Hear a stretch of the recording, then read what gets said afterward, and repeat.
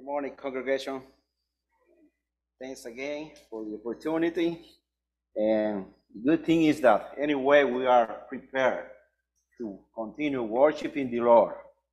Sometimes the technology fail, but our spirit and our desire is ready to worship the Lord. That's the most important thing. I don't know if it's gonna gonna be continue working. This uh, is working. Okay, the title of my message for this morning is The Lion, the Lamb, and the Scroll. That's the title of my message for this morning. Revelation chapter 5, verse 1 through verse 7.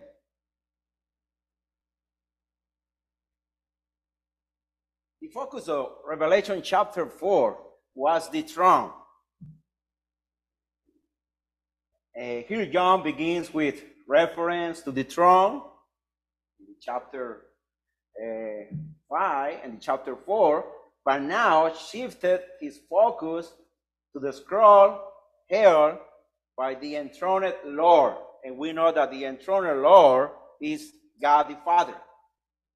God the Father is in the throne.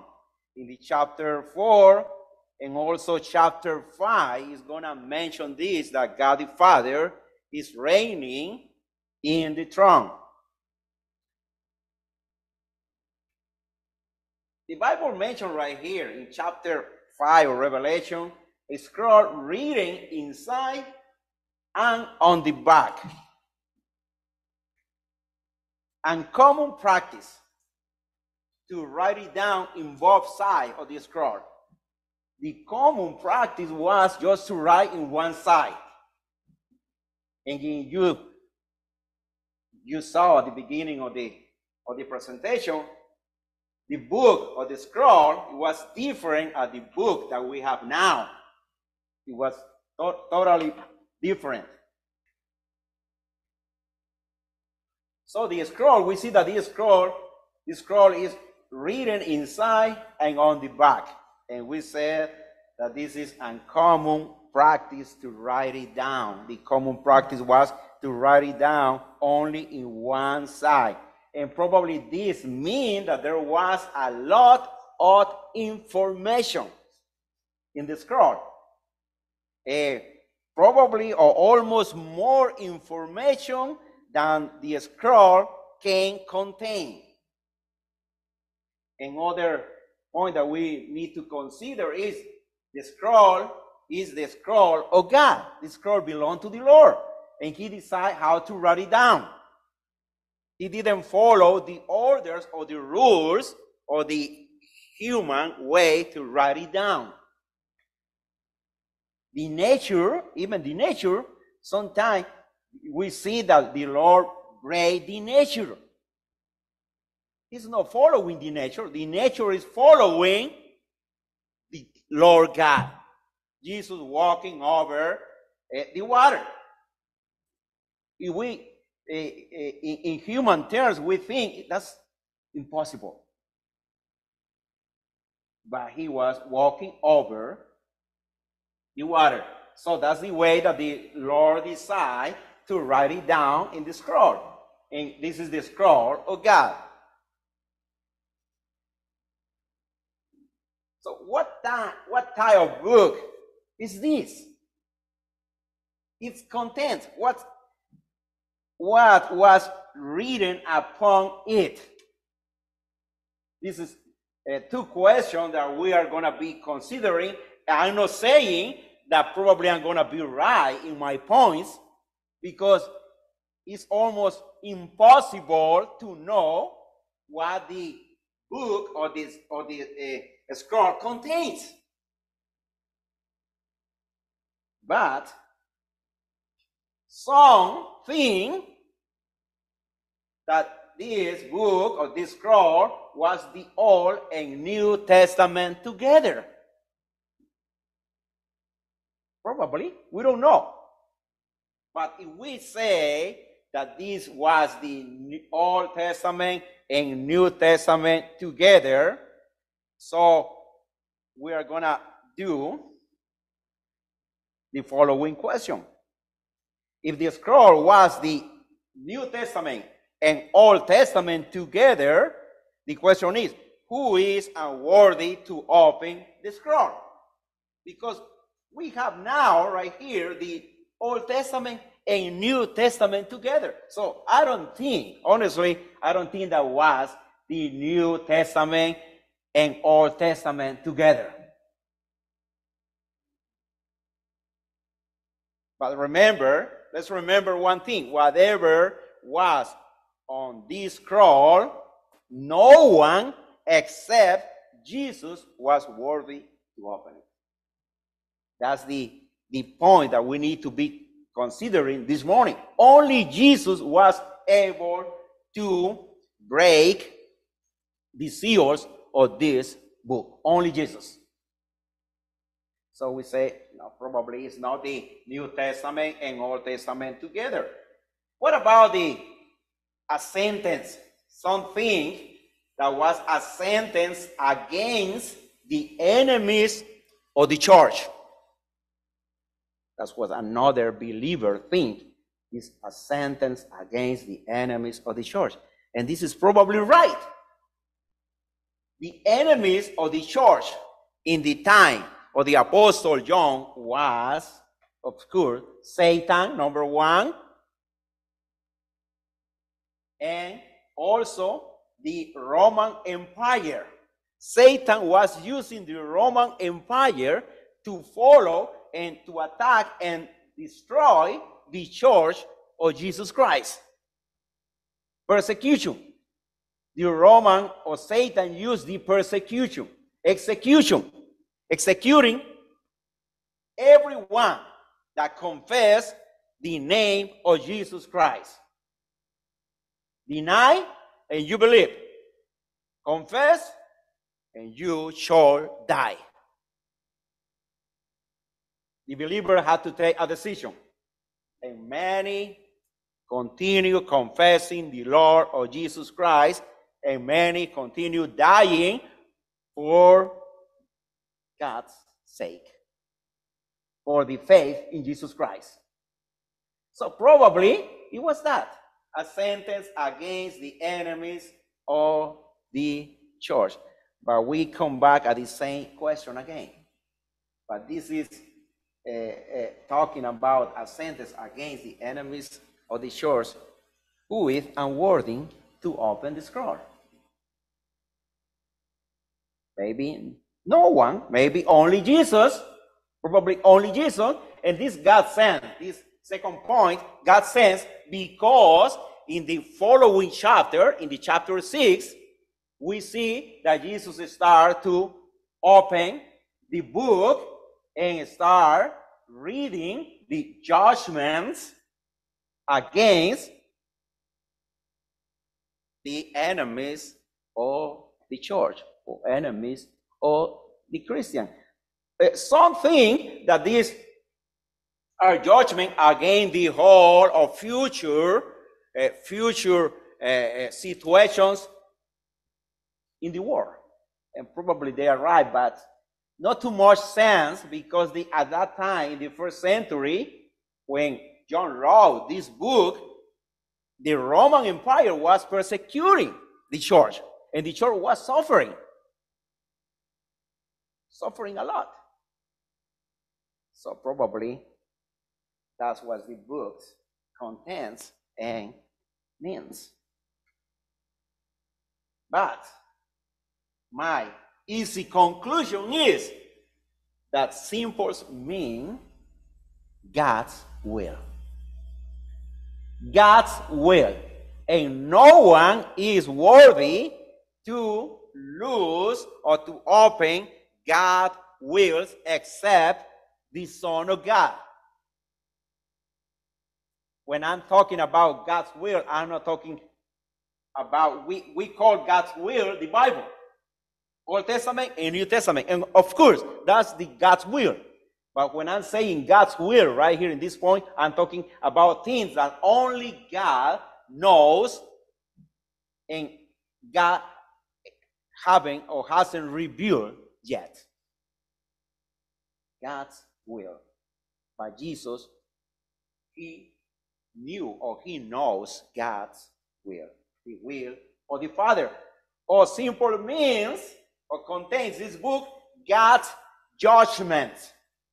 Like I said before, chapter 6 of Revelation is talking about judgment. Chapter 7, the same thing. And you continue reading uh, the book of Revelation, you're going to see judgment and judgment and judgment. But only Jesus was worthy to lose the seals of this book. Only Jesus. Let's keep in mind that. Or we can say that the book contains God's final settlement of the affairs of the universe. That's what we can say about the book.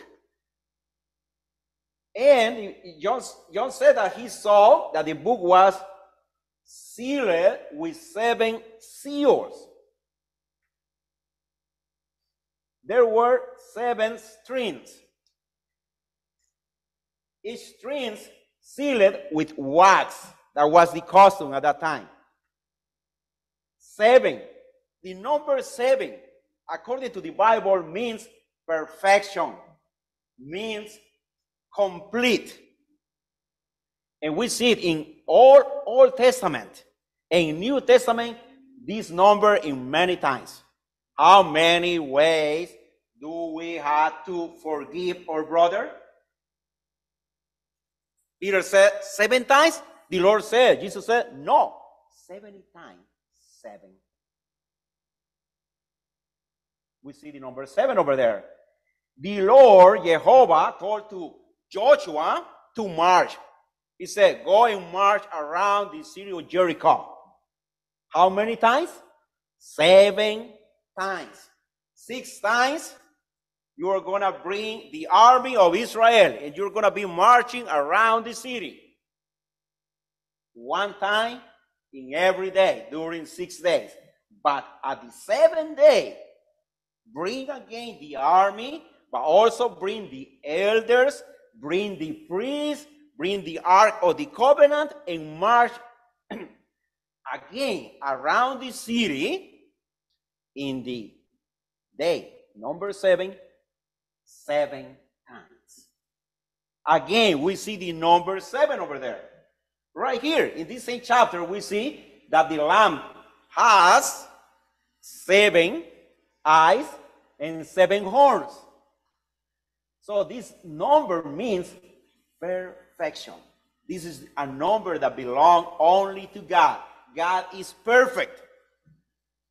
Always is perfect. He's perfect forever. Not sometimes. Always. So that's what the number seven means. So the, the scroll of God is sealed with seven seals. It's a perfect book. It's a perfect judgment. And we also, the Roman law at that time, the Roman law required a will to be sealed seven times. When the New Testament was revealed and was written down, God used. He was he the writer or the author of the book that was the Apostle John. He used the way to write it down at that time. For that reason, sometimes for us it's kind of hard to understand some books of the Bibles because we didn't live at, in that time. And we had to study more, investigate more. But it was also a law in the Roman Empire. A will to be accepted, it has to be sealed seven times for the Roman Empire. This book is sealed seven times for God the Father.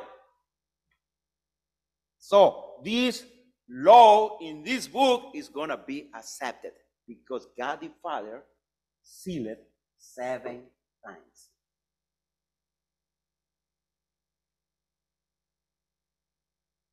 And we see right here a question. Who is worthy to open this scroll?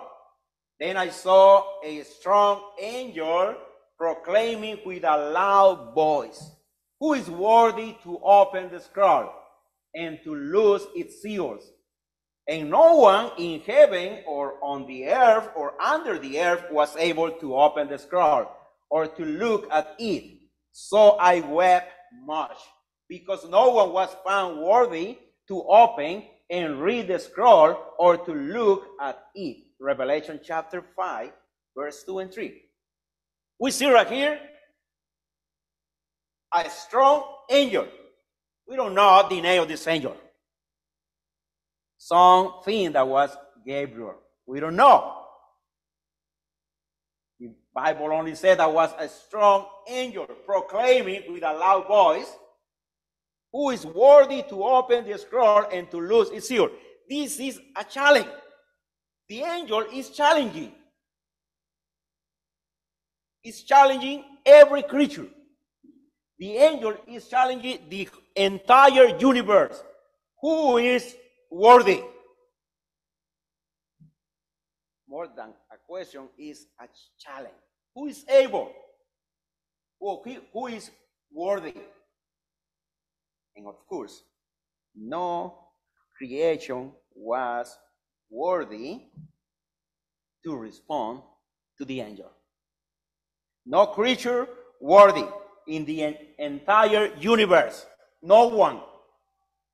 And we see right here that when John see that no one respond to the angels, including John, John said, and no one in heaven multitude of angels around the throne, singing and worshiping the Lord, the Father, Lord, every second of every moment. But John don't see no one, that no one is able or worthy to break the seals of the book. And John said, No one in heaven or on the earth or under the earth was able to open the scroll or to look at it. Even no one able to include to even to look look it. So John said, I wept much. John was crying weeping because no one was found to be able to open or to break the seals of the book. And in the chapter 4, the, another angel said to, to John, Come and look, the things are going to take place after this. But now in the chapter 5, we see that no one is able or worthy to open the book. And so maybe John thought, no future. God is holding now the future. He's, he's postponing or postponing the, the future, and no one is going to be able to, to see the future except only God that knows the future. So, what's the reason that John was uh, uh, crying and saying, No hope? There is now no hope. And John concludes, because no one was found worthy to open and to read the scroll and to look at it. But we see now that the lion is worthy. The lion is worthy. But one of the elders said to me, Do not weep. Behold, the lion of the tribe of Judah, the root of David, has prevailed to open the scroll and to loose its seven seals. And I look and behold in the midst of the throne and of the four living creatures, and in the midst of the elders stood a lamb as though it had been slain, having seven horns and seven eyes. One of the elders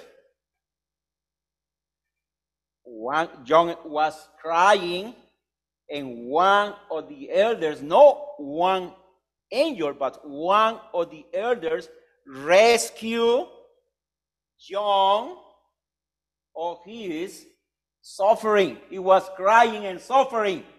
And one of the elders rescued him. Calm down. Relax. Behold, the lion of the tribe of Judah. The lion of the tribe of Judah. Jesus is called the lion of the tribe of Judah because he's a descendant of the tribe of Judah.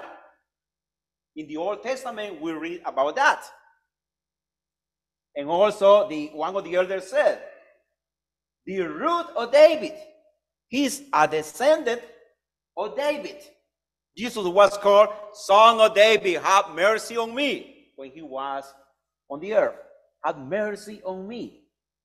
But before David was Jesus. Let's read how, how we say right here. The root of David, not the branches, not the branches of David, the root. Root descend from Jesus.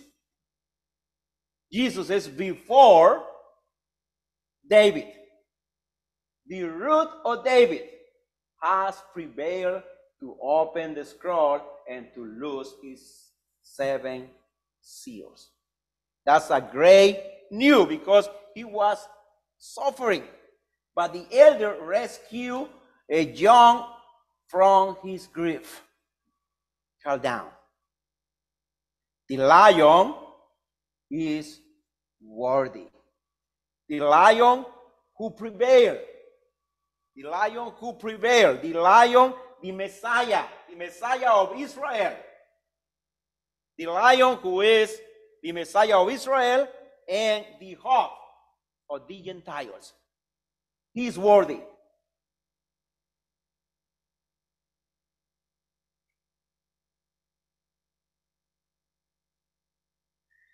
Which are seven spirits of God sent out into all the earth.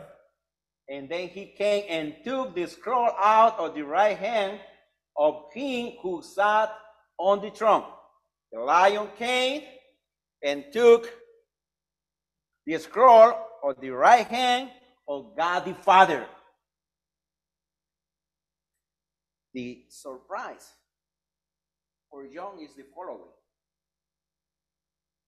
the one of the elders announced the lion is worthy. But later, John saw a lamb instead. The lion is worthy. But some, but John saw a lamb instead.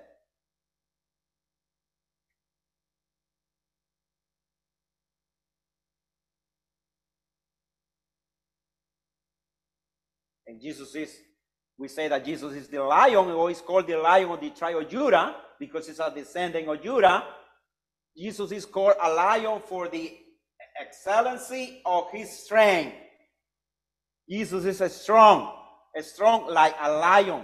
That's the reason that the Bible called Jesus the lion of the tribe of Judah. And also Jesus is called a lion for his heroical spirit. Jesus is a real hero. And Jesus is called a lion for his principality. The lion is king of beasts. That's the reason that Jesus is called a lion, or that's the reason that the angel is calling Jesus the lion, or the tribe of Judah is worthy.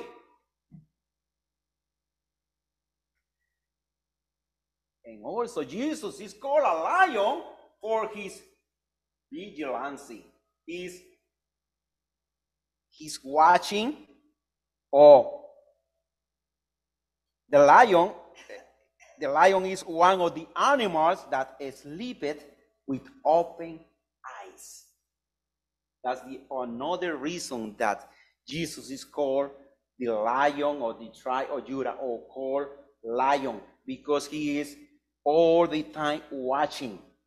The lion, even when he is sleeping, he got his eyes or the eyes open. He's watching all the time. The lamb is also called, the, the elder said, called or told, announced to John, a lion, but present to John a lamp. Why a lamp? For his humility. Jesus is called the Lamb of God for his humility, or is remembering to the church or to the youth the sacrifice in the Old Testament. A lamb was sacrificed every year or once in a year for the sins of the eh, people of Israel. Now, the angel is saying, This is the, this is the Lamb of God. He's humble. He's called the Lamb of God for his gentleness. He's gentle.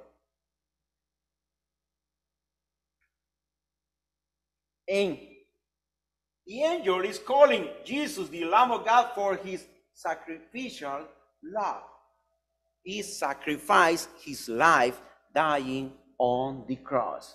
That's the reason that the angel is introducing, or one of the elders is introducing to John to Jesus as a lion and as a lamb.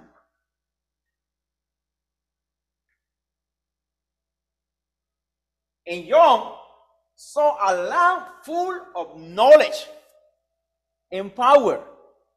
John saw a lamb as slain. This means that already happened about almost 60 years.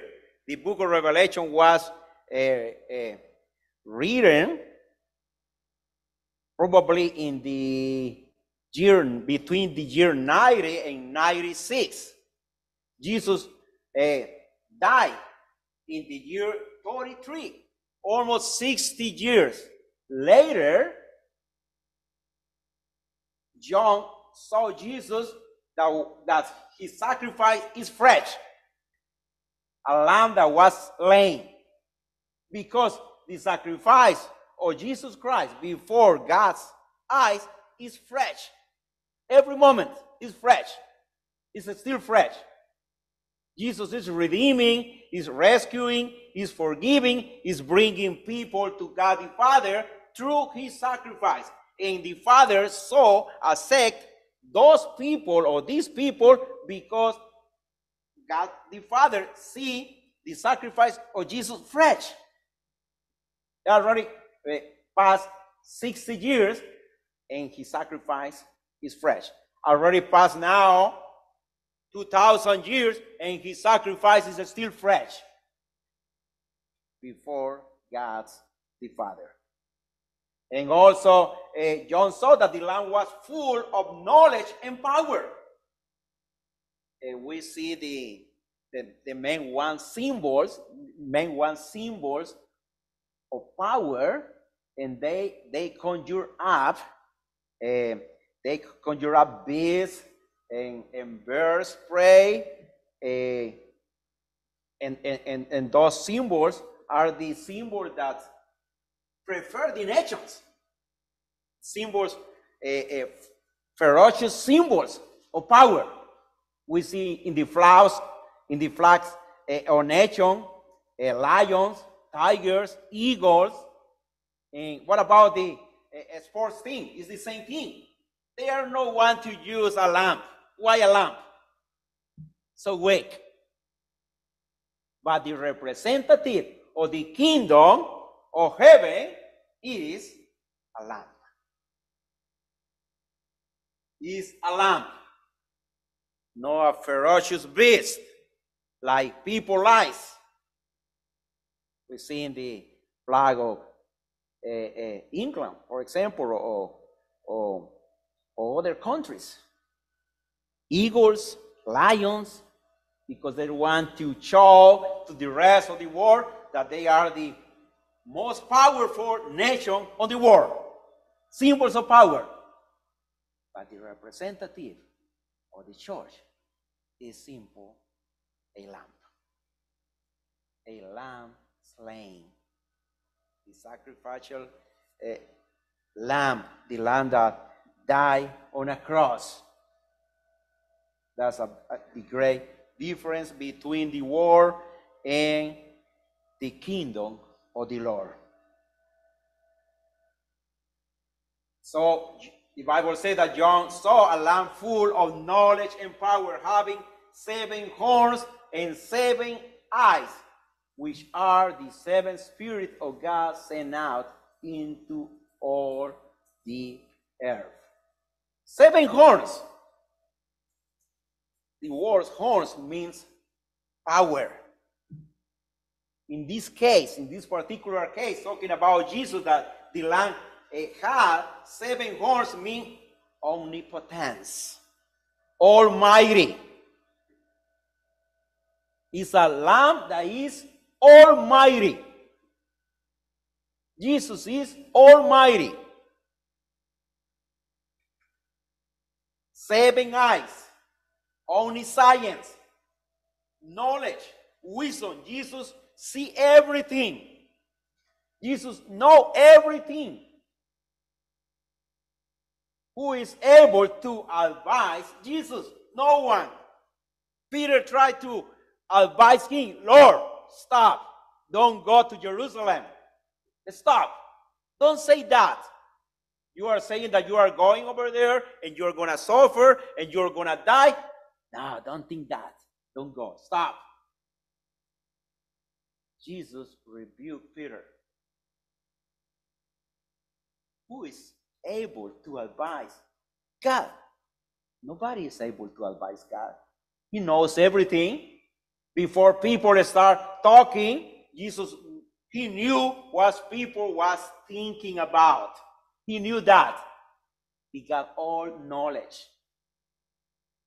Jesus, Peter said to him, later on, he said to him, You know everything. You will be asking me if I love you, if I love you, if I love you. Lord, you know everything. It's a lamb that is full of knowledge and power. That means seven eyes.